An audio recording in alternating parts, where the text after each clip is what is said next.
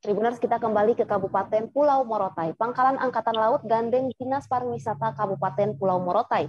Kibarkan sang pusaka merah putih di spot wisata Morotai bawah laut Pulau Mitita. Untuk selengkapnya kita bergabung dengan jurnalis Fitri Nurdin di Kabupaten Pulau Morotai. Silakan Fitri. Terima kasih di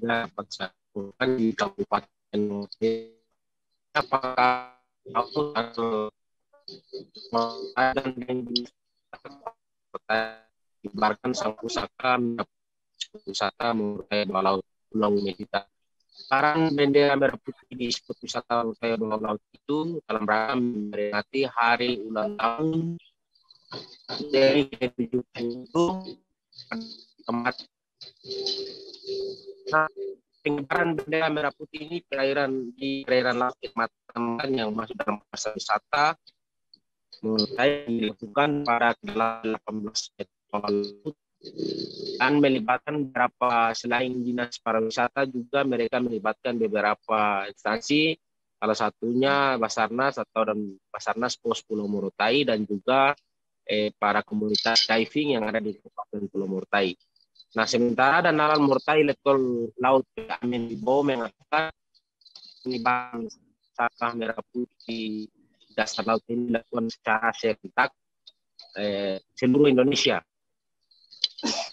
juga dia berhak kegiatan pengibaran bendera merah putih di dasar laut ini dilakukan setiap tahun sehingga eh, kegiatan yang setiap para 17 nanti itu mempunyai nilai tersendiri untuk di bawah laut dan menjaga ekosistem di bawah laut. Nah, sementara Dinas Pariwisata kali ini eh, mengutarakan bahwa mengapresiasi pengibaran bendera merah putih TNI AU yang melibatkan eh, beberapa instansi yang ada di Pulau Morotai juga eh, mantan kepala BKD Pulau Morotai ini juga berharap pengibaran bendera merah putih di dasar laut ini dimaknai dengan kekuatan yang baru sehingga ke depannya akan dilakukan kerjasama antara LANU dan juga eh, para diving dan juga instansi terkait untuk selalu melakukan penyebaran bendera eh, di dasar laut. Mungkin itu juga dapat saya lakukan di Kabupaten Pulau Maka saya kembalikan.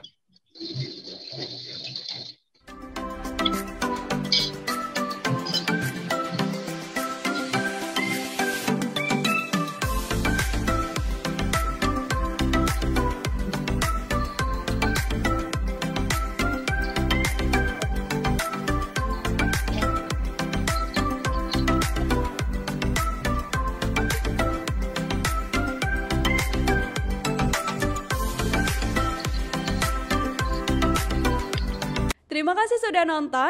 Jangan lupa like, subscribe, dan share ya.